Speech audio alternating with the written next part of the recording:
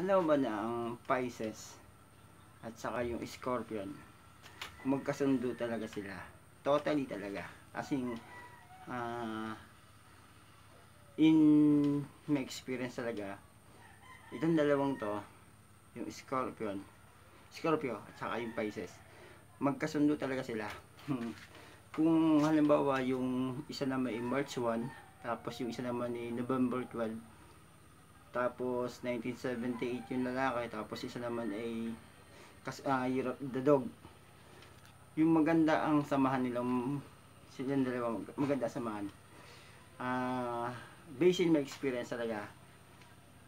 Uh, Year of the Horse ako, tapos ako ay Pisces, tapos yung kakilala ko ay Scorpio siya, tapos of the Dog siya. Ang ganda ng samahan nila kasi wala silang pakailaman. Tapos yung isa magulo, yung isa tahimik.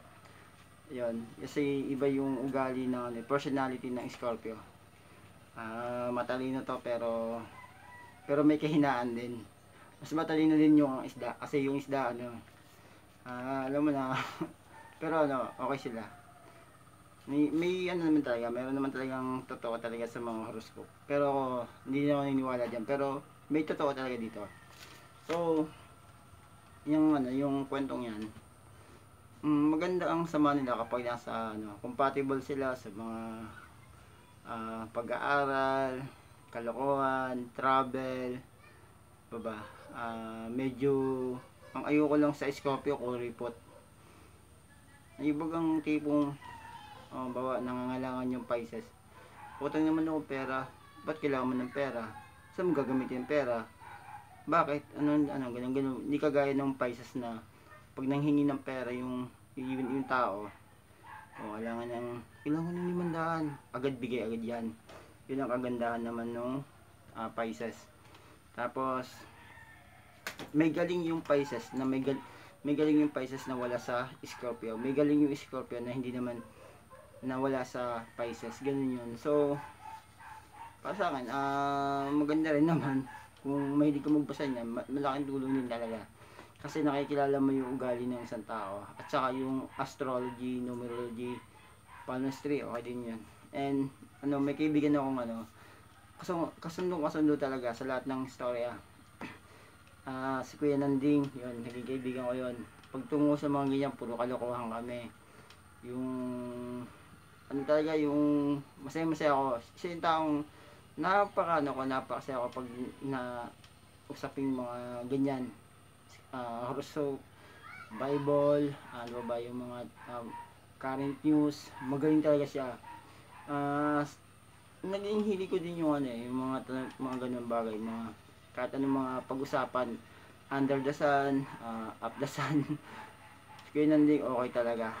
Pag politika o kaya uh, kahit anong ano, kahit anong topic, game na game siya. And enjoy akong kasama siya. Ito namang si ano yung mga nakakasalamuha ko tao okay din naman laking laking impact din sa akin yung nakilala ko sila dahil nag-improve naman yung personality ko at saka ugali ko. May natutunan ako sa kanila na hindi ko natutunan sa sarili ko. Natutunan ko lang sa kanila. For example yung ay ganito pala sila magtrabaho ganito pala yung ugali nila.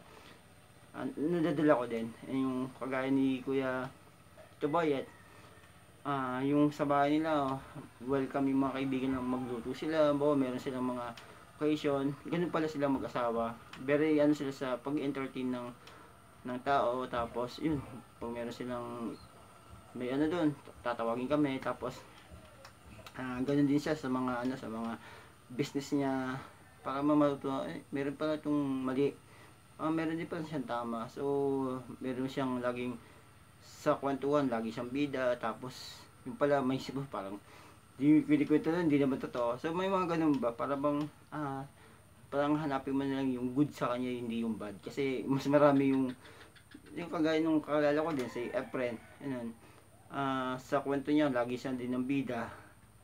Kaya pag ano, parang kaya magkasundo kami, hindi ko siya, hindi ko siya binabanatan, hindi ko siya kinokontra. Oo lang ako ng oko, kahit alam kong niloloko ko na rin siya Totoo naman, ano eh, yung sabi nga, kung totoo sa niya, si, si Efren niya, tapos siya ng college, siya ako hindi. Tapos, ano, eh, Di ang ginawa ko, di sabi, ah wala nga na yan, hindi naman tapos yan si Michael eh. Pero kahit tapos yan ng college, isa din naman yung napatunayan ko sa sarili ko na kahit ako yung high school graduate lang, ah, mas may talino din ako kasi lahat sila naloko ko. Si Efren, kasi yung barkada nun, kasi magaling akong gumawa ng kwento na para bang sa akin kasi kung paniniwala mo kwento ko, hindi, hindi siya kapalipaniwala pero nakapaggawa ko ng isang kwento na pinaniniwala nila na sabi ko, maluloko ko din itong mga to. So, totally, yun, naloko ko nga sila. And naprank ko nga sila. And yun, masaya masaya naman ako. Pero yun din na ulit. Kasi kung magpa-prank din naman ako, yung mahalaga yung naloko ko lang sila pero hindi sila na, hindi ako nakasakit ng tao. Hindi, merong time na ano na tang ina pare. Naloko mo kami dun na, yung ganun, yung bagang may klaseng pagbumaraba na may may, tanginang to na mur, para bang may murang ano, patama lang, tapos meron naman mura na nakakasakit talaga. Depende yun sa sa pagbibigkas mo ng salita o yung pagdi-deliver mo ng ng ano ng ng ano. Kasi nung time na yun, yung bata pa kami, syempre yung lagi kong kaaway. Hanggang sa naging kaibigan ko din siya. Tapos ano, nililoko ko siya. Tapos yung kunikwento ko sa kanya, bidong-bida ako. Pero pag naman siya nagkwento, bidong-bida naman siya sa akin. Kaya di ko siya kinukontra. Magkasundo din talaga kami. So yun lang and paalam po. Bye.